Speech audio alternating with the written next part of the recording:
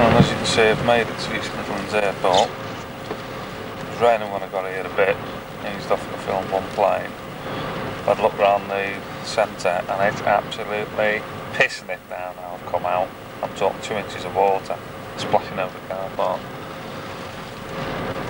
Um, this centre is very good apart from being full of two coaches full of kids, which I'll show you in a minute.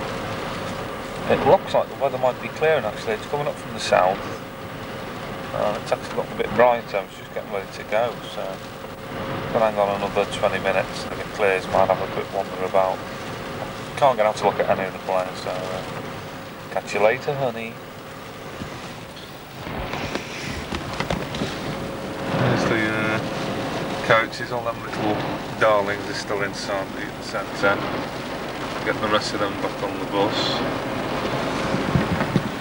As you can see, there's all the black stuff. Absolutely bucket down. That's the way it's going. It's been going for oh, bloody ages now.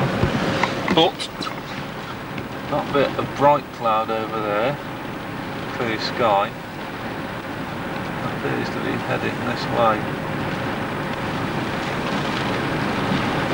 So it does